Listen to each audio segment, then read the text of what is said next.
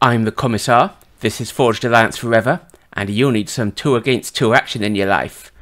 We have here four players, 2 on 2 ladder, on the map Whitefire. Now Whitefire is a very old map, I think it's been around since the beginning, and we'll talk about it in a bit. But first, this is an interesting one in that it's an all UEF matchup. So we have the red, the white fire, and the blue, and that works for quite a lot of countries to be honest. It works for England, it works for the USA, it works for France, and you can decide which tricolor is being represented here by the game's title. Either way, let's go and meet them, starting with the red. Down here, in the corner behind the island, we have Gezeitenkraft. He is 1587 rated, and he is in bright red.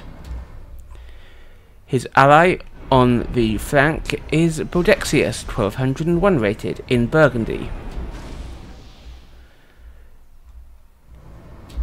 In the rear position for the colour team, we have Balfron, 1388 rated, in baby blue.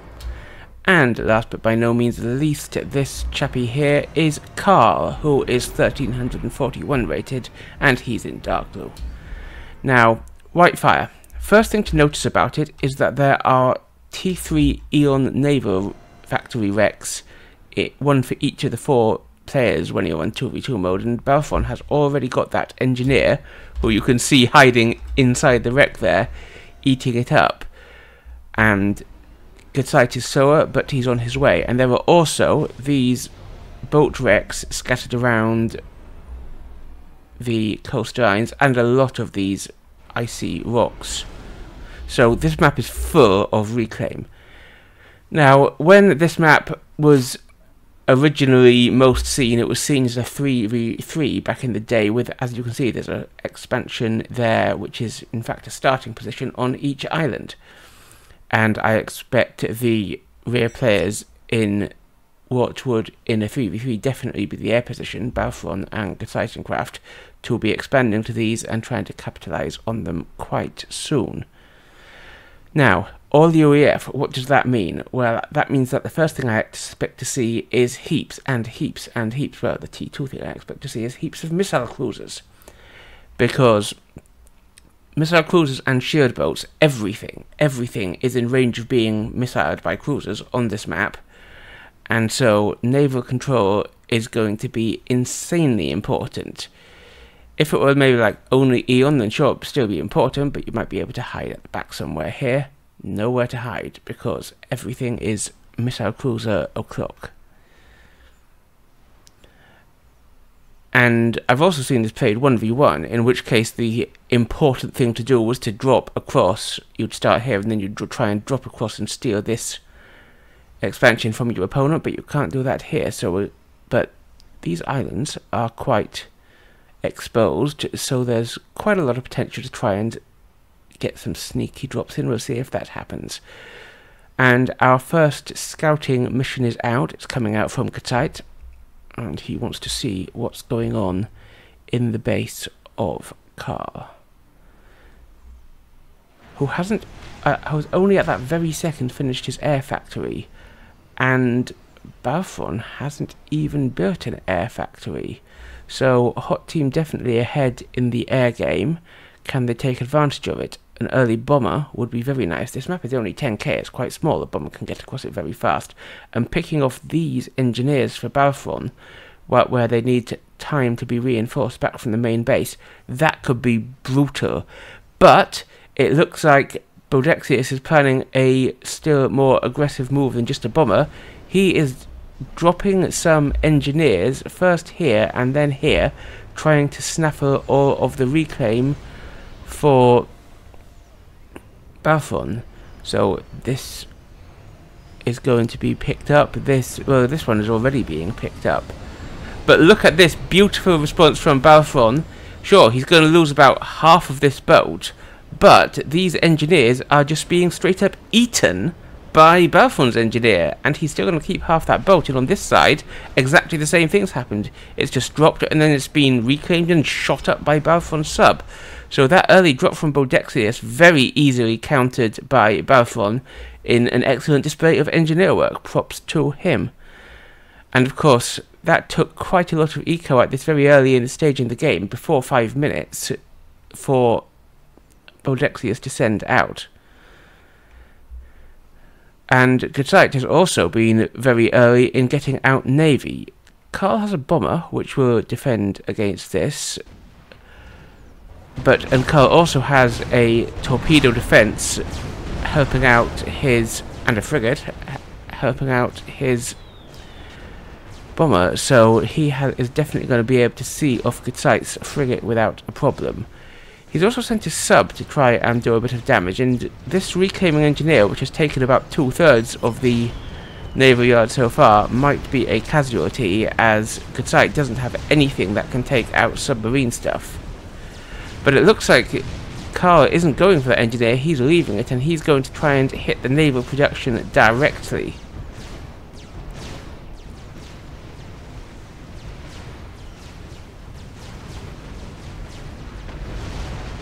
And Gatalis just has no answer to this sub. That engineer has been taken out, and Khal is bringing in a frigate as well to help out. The com could reclaim the sub, but this is quite a lot of effort for Geseit to have to go to to defend against a relatively small raid. And he's trying to put up a torpedo defense, but the frigate and sub between them just take it out bombers coming in for the frigate. But this is excellent damage for just these two units. It's slowed up a lot, it's taken out a lot of eco, it's forcing the site to react pretty hard.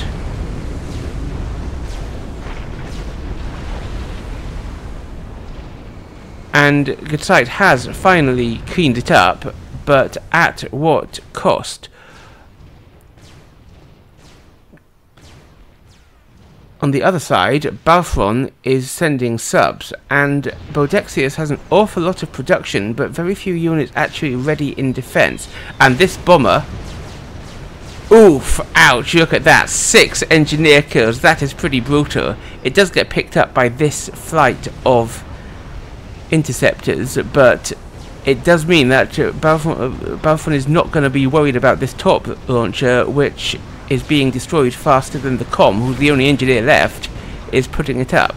And Balfron has created, um, Balfron Bodexius has created some units, and it looks like Balfron is just choosing to retreat, but that was a nice little raid from Balfron as well. Now, what have we got? Khal has managed to shoot out a couple of Gezeigt's mexes on the island, which is pretty nice. And he's coming around here, and he's, oh, he's got another one as well. But I think that this navy here from Gezeit is going to be enough to hold Khal back for now.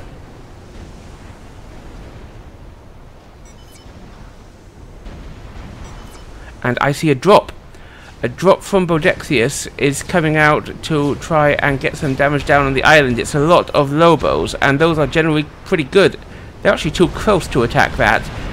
They take out that... Was that a radar? I think that was a radar, but this, Navy from Balfron is close enough, and but they don't even get to kill a single mex before the Navy takes them out. So another excellent response from Balfron to the drop from Bodexius. Now, looking at matters, T2HQ, T2HQ, all but Gezeit now have T2 naval production, and obviously that's going to be very important. Destros first will surely be the order of the day because with navies this size on the field, both teams are going to need to try and get some level of naval control before they start taking out any actual bases with cruiser missile fire. But Balfron is getting the tactical missile on his com, which is going to be pretty epic for mex sniping here if he just walks down into the water, supported by his submarines, and snipes out a few of probably Bodexius's mexes. And he's also sending a drop Where's that drop coming? It comes around the right side. If he just lands here, then he will be able to do an immense amount of mex damage. But he's being too greedy. He's been seen. And boom, down goes the drop without doing any damage. So, both teams on the ball when it comes to naval defense.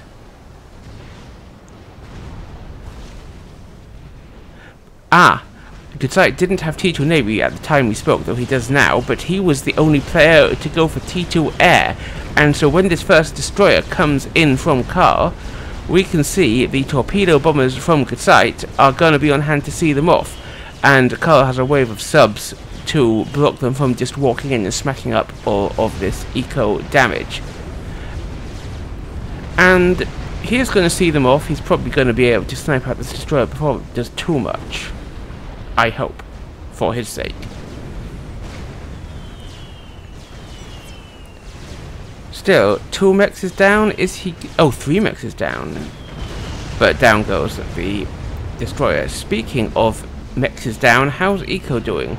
Well, Cold Team are ahead, presumably thanks to this continued damage that they've been inflicting on Gutsite, and uh, though that said, both Balfron and Khal are ahead of both Gutsite and Bodexius, and so they're 25 eco ahead, which, when you're both below 100, when both teams are below 100 eco, is pretty significant. Let's have a look at their balance. Balfron, good amount of power, perhaps too much, although I suppose he needs it to build the TMLs, and a reasonable mass balance. S Khal looking very well balanced there, I like that. Good sight. short on power, he's having to rely sometimes on his friend and no storage, but this is also quite nice with his reclaim and production to keep that on track. And Bodexi is spending the most, a little bit of power overflow, but also no storage. So, overall though, reasonable eco from everyone. I quite like it. And I see the first TML coming in from Balfron's com and boom, it smacks out a tasty mex. But Khal also has a missile cruiser.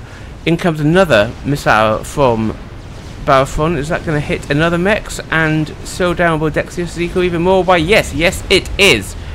And this missile cruiser, oh, well, that's actually gone out of position. It's tried to come and hide from Gutsite's forces behind this navy, but Bodexius has just brought his navy in to sideswipe the cruiser. Nice move. And down goes the cruiser, and we have Destros from both Gutsite and Bodexius sandwiching this navy. And unless Balfron can do something about it, I think he's going to lose a lot of this force. There is another Destro coming in, but what's he going to do if he's already lost this force? And neither of the Destros for Hot Team in this attack have yet taken much damage. They could actually push quite significantly here.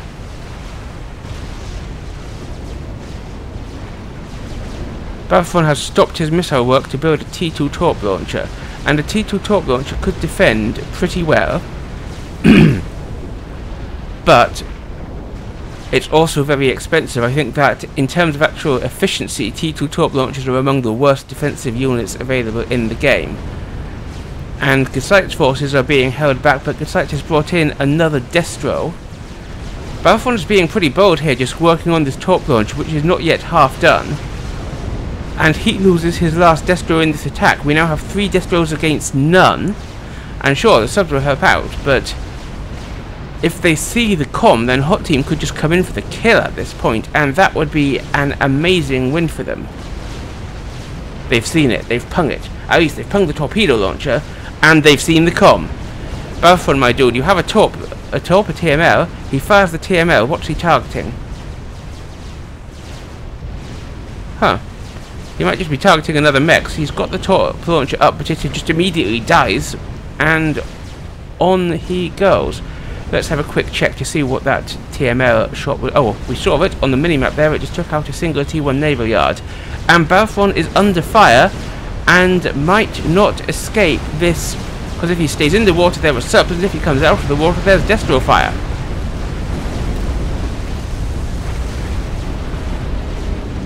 And he's just standing there and taking it, getting reclaimed for his friend before he explodes. Nope, he, he tried to run at the last minute, but up he goes in fire and smoke and all of that sort of thing.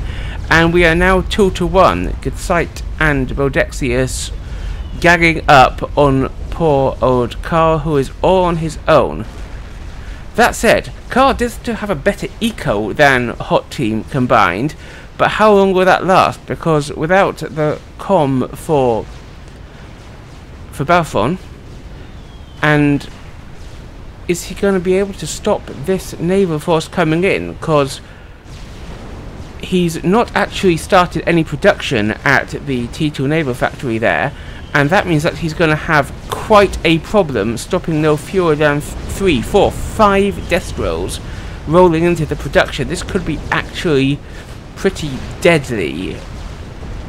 And we can see over on this side that there are a small amount of naval force coming back to try and defend. But it's still going to be a big ask because that force is smaller than the force that Hot Team already has in here. This isn't, of course, Khal's only naval HQ. They're both UEF. They're all UEF, and so his own naval HQ will allow T2 production to continue. But Mechs is going down, land factories are going down. They will have to focus out this force, but once that's been done, the destruction will be able to continue unabated. And they're making Khal come in and take the fight. There are a few torp bombs coming in, and the cruiser from Good will be very nice here. But we have a sandwiching force coming in to trap this fleet, and that's going to be nice, since of course most Destros can only fire in one direction at once. And this is just Khal sending in what he can produce as fast as he can, rather than any sort of actual tactical sandwich. Afraid I don't believe I've ever said before. What's a tactical? Uh, what, what would a tactical sandwich be if you ordered it at Subway or your or Greggs? Maybe do they? They're a sandwich place, aren't they? Whatever your restaurant chain of choice is. While I was blathering about all that on the Balfron's old base, look at this. We have a drop from Khal. He has dropped bunches of Lobos, two entire transports worth, into Gezeit's main base. And he is smacking out Gezeit's T2 mexes. And this is going to be crushing for Gezeit because suddenly he's got to worry about all the stuff in his own base. And sure, Balfron's base is also being destroyed by these aptly named destroyers, but Kara is responding with air and there aren't any cruisers in there to see them off. And so Gezeit is moving his fleet to take on Khal's production. Meanwhile, Gezeit defends with labs and bombers from the drop. It's going to take out this radar. Will it move on to this T2 mex? It certainly should, but it looks like Khal is worried about the micro around his com. I would be in his position. And so the bombers from Gezeit are, and these frigates that he's also bringing out are going to clear up the drop. The Mex is Pung, and Khal goes for it, and he's brought in enough to see off Gezeit's fleet there. Will he lose the Mex though? I don't think he actually will. These guys need to either stop and destroy it or just start dodging around, but no, down they go and it looks like this one T2 Mexico defended, but the site has a lot of rebuilding work to do here. Good play from Khal. So as a result of all that damage, look at that, all these mexes, this entire expansion smashed out for what used to be Balfron and is now Khal. but that epic raid against the central mexes of Gezeit equals it even for the first time in a very long time. Let's have a look at individual. Khal, lots of power, qu spending quite a lot of mass, but you'd expect that at this stage. Ooh, sight, is actually having a bit of power trouble. Do we think he's gonna remedy that? Ah, and he power stores. How's Bodexius doing? Well, Bodexius isn't giving him anything. Bodexius is on the breadline. So hopefully they're going to build something nice. There we go. And that's going to overflow to good sight and get him just about... Oh, maybe not. He's spending a lot. We'll have to check on them later though because I see some action going down. Specifically, I see a raid from Gutsite heading in towards Khal's main base he's trying to repay the favour, but instead of going for a drop, he's just going for naval bombardment with a destroyer from the sea. A cruiser backing this up, as opposed to naval bombardment from where? Where else do you get naval bombardment other than from the sea?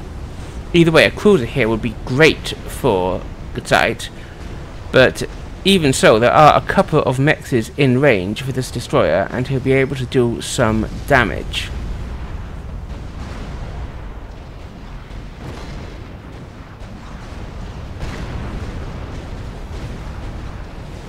tactical missile defense is going up, but that would work if this was cruiser fire. It's not. It's Destros, and Khal sends one Destro against two plus another feat.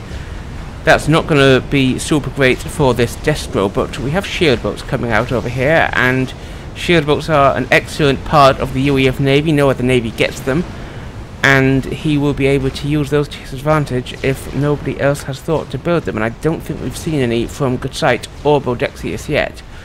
On the other side, though, we have a beachhead for the who has dropped NGs over here. He's he tries to drop them back here, but Khal has a cruiser which shoots down the transport. However, these factories have been leveled up straight to Tech 2, and they are producing Riptides.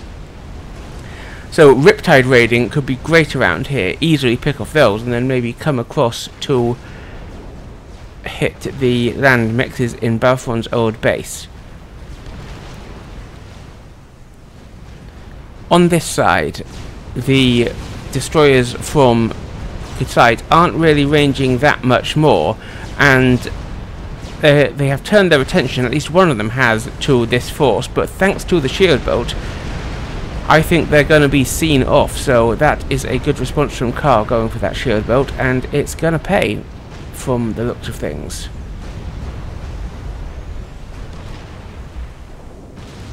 How are those riptides doing? Well, the first few have been killed, but there are more coming out all the time. And these engineers are assisting it pretty hard.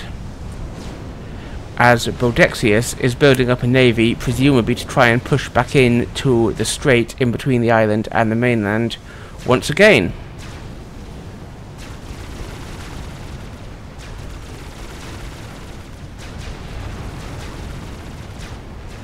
The Riptide raid is finishing off the couple of remaining mexes on this island, and thanks to the positioning of these units, torpedo bombers, of course, cannot hurt Riptides, which hover. I think they're going to get across over here and be able to pick up a couple of mexes without any interruption. Big raid from Gatsite comes out, and it easily smashes aside. I say it easy, smashes aside. This destroyer does it. It's chasing it. And Goodsite is in the water here, trapped on an upgrade. The, the destroyer probably won't be able to take him out. Those torpedo bombers might though. Goodsite might have to move unless those torpedo bombers are dealt with pretty quickly.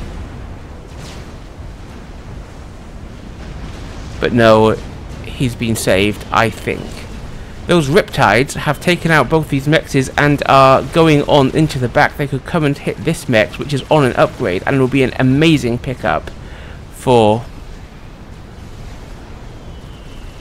for Gasite if he was able to kill it.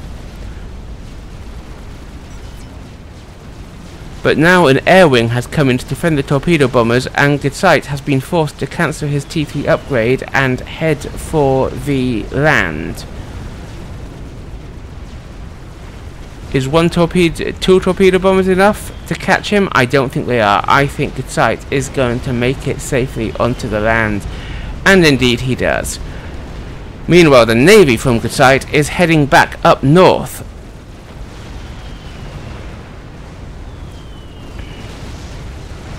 nice sort of Destros out, and this is all only subs now. The Destros just run past the subs, because Sight is on the shoreline, and he's putting up railguns to defend from the torpedo bombers, but now it's not the torpedo bombers he has to worry about, it's the Destros. If he goes into the water, the Destros have torps. If he stays above the water, the Destros have those gigantic cannons. And Sight is definitely in trouble and he only got one railgun up, so the torp bombers come back in again to double down on the attack. And good Sight is deep, deep into the red. Boom! So Khal after that early loss of his ally and having his eco smashed to pieces, oh look at that, that mex did go down. These Riptides are still alive and Riptides over here from Bodexius are taking out the air HQ and these Vexes, so Khal is now in a bit of a pickle despite having killed Getsite, the other team's higher rated player. Khal has only half the eco of Bodexius at the moment, and that could be crippling, especially in a naval game, because boats cost so much mass. But he's pushing in with destroyers as hard as he can. Still, half the eco is not a problem that will go away easily. And these riptides are still here. There is some pinging going down from Getsite saying get those riptides in there and if they can take out another T2 mex, that would be particularly brutal for poor old Khal. Is there any way he can come back from this? T1 bombers are a good answer to the riptides who have three vets each. But one of them goes down, and the Riptides aren't dodging, so I'm pretty sure that this other one is going to go down in pretty short order too, before another mex is lost. And indeed it is, but there are more Riptides coming in over here, and Khal has sent his com in person to deal with them. He's also sent a couple of destroyers and a couple of frigates. And this combined firepower should not have too much difficulty in dealing with this force. Khal doesn't have any actual upgrades on his com. I was wondering if he had T2 or T3 and would be able to quickly rebuild these bases, but as it is, he's just two T1 engineers and a gun. And he's not using the gun, he's staying underwater. Maybe he's thinking that Bodexius will try to snipe him here in his naval yard, and so he's just sneaking away somewhere. And that doesn't like where Bodexius is attacking, because this is quite a big force that Bodexius is sending across. However, Bodexius isn't bringing in any shield boats, and we saw how the shield boat making an excellent difference for Khal not so long ago against Getsite's raid. Will that shield boat, or rather, will that new shield boat also make the difference as Bodexius comes charging in with a fleet?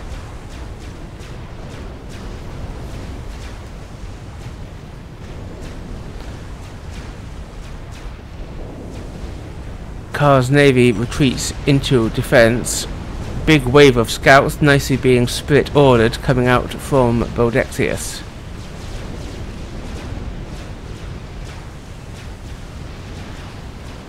Is he going to push the attack? I feel like Bodexius could have pushed that attack, and he didn't. And Khal's eco is catching up, but only slowly. There's still a 40 difference, and 40 is is a lot. 40 is when both um, teams are still below 140 feels like a ha and Bodexius is no longer below 100 Khal's back to only half of Bodexius's eco. So Bodexius has to turn this into a win quickly before Khal has a chance to rebuild and slash or keep Khal off his friend's old expansion. And looks like Bodexius is going for it right here he's sending a wave of Engies in to set up, well, what's he planning to set up? Are we going to see an Engie reclaim war here? Understandably, it looks like Khal's attention... Oh, yes, no, Khal's attention might have been elsewhere, but he still tries to get a reclaim. However, he's now more interested in picking up the wrecks of these boats than he is in stopping this construction. But if this construction is not stopped, then we're going to have a point defense that will see off all his engines, and I think that Bodexius is going to get that down. Indeed he does. That mex is going down. If these engines come any nearer, they're going to be taken down. NG reclaim more of a game, but this one is going in favour of Bodexius. At least to start with. And while we've been focusing on those couple of NGs having a little scrap, we have this immense naval battle going down. Khal has six destroyers in a cruiser, which is pretty nice. There's only two destroyers in there and two cruisers for Bodexius, but he's got a lot of subs in support, and Khal is actually driving him back. Meanwhile, Khal sends out a wave of bombers. And Khal's reclaim must be amazing. Yes, it is. Look at that. Khal is 8,000 reclaim ahead of Bodexius, which explains why he's actually still got the match lead in terms of mass collected, despite the fact that Bodexius is now 120 to 53 eco ahead. That is immense.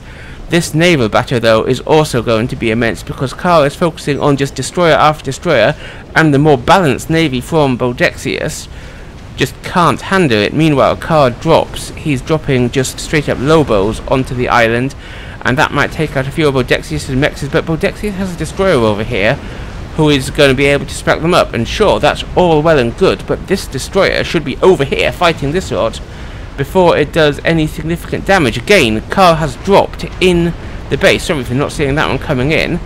And again, Bodexius and Mexes are being cleared up. Will this help level the eco difference?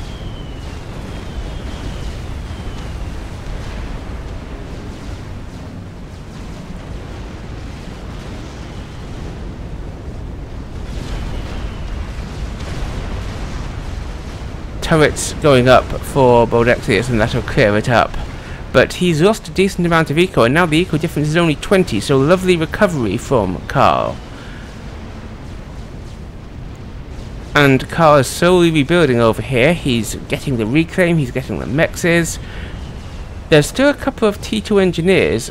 What can Bodexius do with these engineers that will be useful? a land factory maybe to reproduce those riptides and keep raiding here, keep making a mess of things. But Bodexius has to worry about this because his com is actually remarkably undefended and that is still a lot of destroyers with more still coming in. Could Bodexius have made quite a misstep here? If he loses his naval HQ, that means no more destroyers, and that actually no, he does still that HQ that he inherited from Gezeite. So it doesn't mean no more destroyers, but it certainly means no more destroyers right here. And Bodexius, my dude, your com is just in the water. What are you going to do about this? You're under torpedo fire from a bunch of destroyers. And if you come out onto the land, you'll be under destroyer fire. So the same destroyer trap from Khal that caught the Gezeitenkraft. might be about to catch Bodexius as well. If so, this is going to be an amazing comeback for Khal. Bodexius puts up AT-1 torpedo launcher. Well, that's nothing, and also it's the only thing above the ground, so it immediately gets just blasted to pieces by a bunch of Destros. And Bodexius is just not moving. Why are you not moving, my dude? He's trying to reclaim the naval factory, but that doesn't seem like what he needs to be doing. What he needs to be doing is not standing where a bunch of destroyers are shooting him. My dude, are you aware that if you die, you lose the game? If you die in the game, you lose the game in real life? Doesn't have quite the same ring to it, and good ground fire from those destroyers, because Bodexius is only a teensy bit under the water, and those shots are going to be doing damage to him. He's into the red, and he's... and he just says GG. Boom! Bodexius dies, and despite being 2 to 1 eco down 2 and more at several points, despite being the first to lose his teammate, Khal comes back from that terrific disadvantage to win the game. What a game, my dudes.